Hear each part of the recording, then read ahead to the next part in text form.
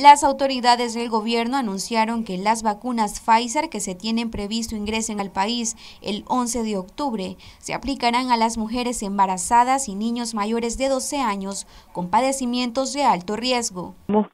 pendientes de recibir más dosis en el día 11 son 233.470 las de Pfizer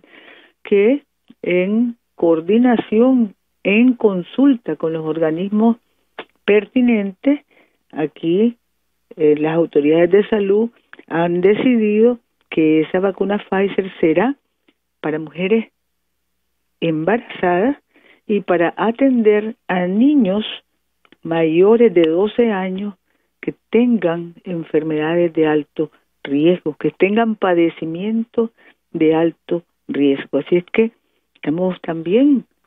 agradecidos por esa donación que nos permite continuar protegiéndonos y avanzando con quienes más lo necesitan, en este caso las mujeres embarazadas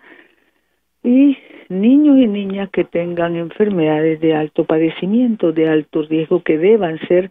protegido. El secretario del MINSA, el doctor Carlos Sáenz, dijo que a partir del 9 de octubre se aplicarán segundas dosis a personas que se hayan vacunado con la Sputnik y la Covishield e iniciarán una nueva jornada de vacunación. Después del 9 de octubre, que estaríamos cumpliendo con un porcentaje muy importante de cobertura,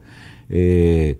con estas vacunas que están previstas llegar, nosotros vamos a completar la segunda dosis que ya les tocaría a las personas que tenían algunas Covishield, eh, AstraZeneca, que se han puesto sus primeras dosis, e inclusive aquellas que una cantidad muy poca que este, no se pusieron la vacuna Sputnik por alguna razón, entonces también vamos a poner su segunda dosis. De tal manera que vamos a estar poniendo segunda dosis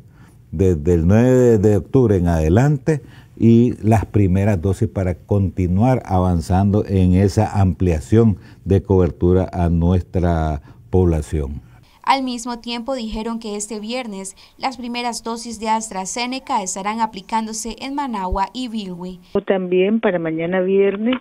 para mañana viernes aquí en Managua, en el Distrito 1, Centro Familiar y Comunitario El Inalau, en el taller de enfermedades de transmisión vectorial en el Distrito 4, en el Centro de Salud Silvia Ferrufino, Distrito 6, en Villa el Carmen y en Bilwi, vamos a estar mañana, Región Autónoma del Caribe Sur, en Bilwi, en la Escuela de Enfermería, en el Centro de Salud Osvaldo Padilla, en Huaspán y en Prince en la Casa Materna Dalila en Glass mañana viernes. Para Noticias 12, Gabriela Solórzano.